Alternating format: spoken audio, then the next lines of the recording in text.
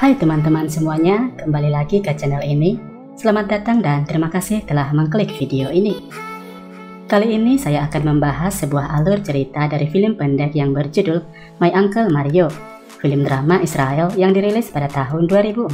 Film yang berdurasi 18 menit ini mengisahkan tentang seorang anak remaja yang mengagumi pamannya sendiri ketika pamannya itu datang berkunjung. Rasa penasaran terhadap kehidupan pamannya itu membawa anak remaja itu menemukan jati dirinya yang sebenarnya. Begitulah sekilas gambaran di film ini. Jika penasaran dengan kisahnya, saksikan video ini hingga selesai ya. Dan tanpa berlama-lama, kita langsung saja ke ceritanya. Sevi adalah seorang anak laki-laki yang baru saja beranjak remaja. Di saat libur panas, ia membantu ibunya yang menjalankan bisnis makanan. Mereka tinggal di kota yang terjauh dari pesisir pantai. Sevi ditugaskan oleh ibunya untuk mengantar setiap makanan yang dipesan oleh orang lain menggunakan skuternya.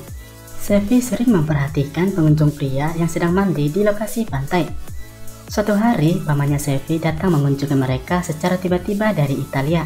Nama pamannya itu adalah Mario. Sevi dan ibunya terkejut oleh kedatangannya. Mario berkata kalau ia sangat merindukan masakan dari saudaranya itu. Dan saat mereka makan malam, Mario makan begitu lahap. Karena begitu enaknya, ia meminta Sevi untuk mengantarkan pesanan makanan sampai ke Italia. Sevi membalas kalau ia akan senang sekali melakukannya jika hal itu memungkinkan. Pamannya itu pun mengajak Sevi untuk tinggal di Italia bersamanya dan membuka restoran baru di sana. Ibunya Sevi sedikit marah mendengarkannya. Ia mempertanyakan mengapa Mario betah tinggal di Milan sedangkan dia tidak memiliki keluarga di sana. Mario pun terdiam mendengarkannya. Namun, ia langsung memberikan oleh-oleh buat saudaranya itu. Ia juga tak lupa memberikan oleh-oleh buat Sevi. Sevi sangat menyukai baju yang telah dibelikan oleh pamannya. Mario memuji penampilannya Sevi dan memeluknya saat itu. Sevi mulai penasaran dengan pamannya. Saat hendak tidur, ia mendengarkan pamannya sedang menelpon seseorang. Tak lama, pamannya pun pergi diam-diam keluar. Karena penasaran dengan percakapan yang baru saja ia dengarkan, Sevi membuntuti pamannya itu keluar rumah secara diam-diam. Ia pun melihat pamannya memasuki sebuah klub gay.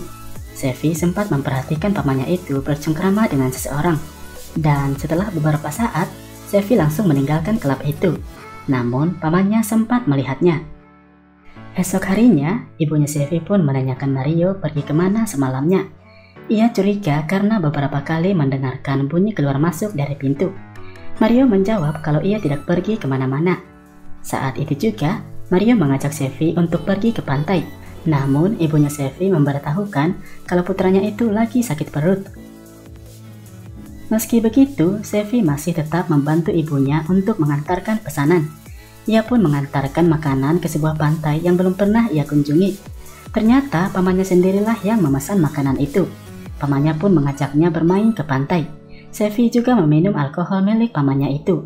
Ia begitu terhibur melihat pamannya. Tak lama, mereka pun berbincang-bincang di pinggir pantai. Mario menanyakan kehidupannya Sevi lebih dalam. Sevi memberitahukan kalau ia hanya membantu ibunya di hari libur dan tak pergi ke mana-mana. Saat itu juga, pamannya memberitahu kalau semalam ia sempat melihat Sevi berada di depan sebuah klub. Sevi pun memberitahukan alasannya. Dari sana, mereka pun pulang bersama-sama dan terlihat begitu akrab. Namun sesampai di rumah, ibunya terlihat marah kepada Sevi. Saat Sevi meminta ikut untuk mengunjungi rumah pamannya di Milan, ibunya itu semakin marah dan langsung pergi menemui Mario di kamarnya. Ia marah-marah dan meminta Mario segera pergi. Mario pun pergi hari itu juga. Sevi terlihat sangat sedih dan memeluk pamannya itu begitu erat Reaksi ibunya seolah meminta pamannya itu untuk tidak kembali lagi. Dan malamnya, Sevi mengenakan pakaian yang diberikan oleh pamannya. Ia pun pergi ke klub yang pernah dikunjungi oleh pamannya itu. Dan sejak itu, Sevi mulai berdamai dengan dirinya sendiri, menemukan jati dirinya yang sebenarnya dan hidupnya pun berubah. Begitulah teman-teman akhir cerita dari film singkat ini. Sevi termotivasi sendiri dari pamannya Mario. Ia yang dulunya masih mempertanyakan jati dirinya, kini telah menemukan yang sebenarnya. Sekian dulu teman-teman pembahasan kita untuk kali ini. Saya harap teman-teman mengerti dan menyukai ceritanya. Bagaimana menurut teman-teman? Boleh beri pendapatnya lewat kolom komentar ya. Jika berkenan, silahkan beri like dan subscribe-nya untuk mendukung channel ini. Sekali lagi saya ucapkan terima kasih dan sampai jumpa di video berikutnya.